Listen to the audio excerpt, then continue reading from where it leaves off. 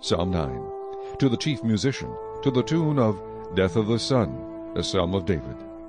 I will praise you, O Lord, with my whole heart. I will tell of all your marvelous works.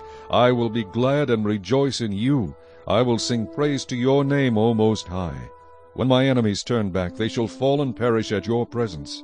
For you have maintained my right and my cause. You sat on the throne judging in righteousness.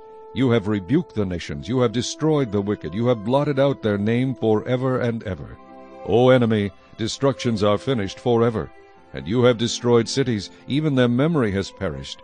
But the Lord shall endure forever. He has prepared his throne for judgment. He shall judge the world in righteousness, and he shall administer judgment for the peoples in uprightness. The Lord also will be a refuge for the oppressed, a refuge in times of trouble. And those who know your name will put their trust in you. For you, Lord, have not forsaken those who seek you.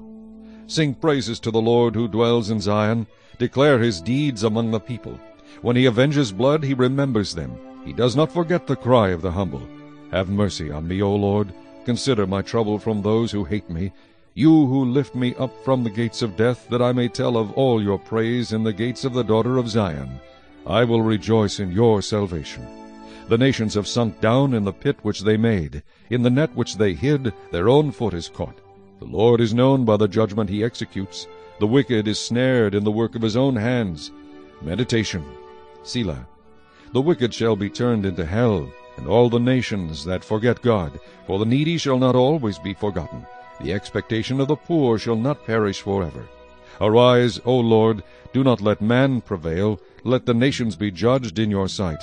Put them in fear, O Lord, that the nations may know themselves to be but men. Selah.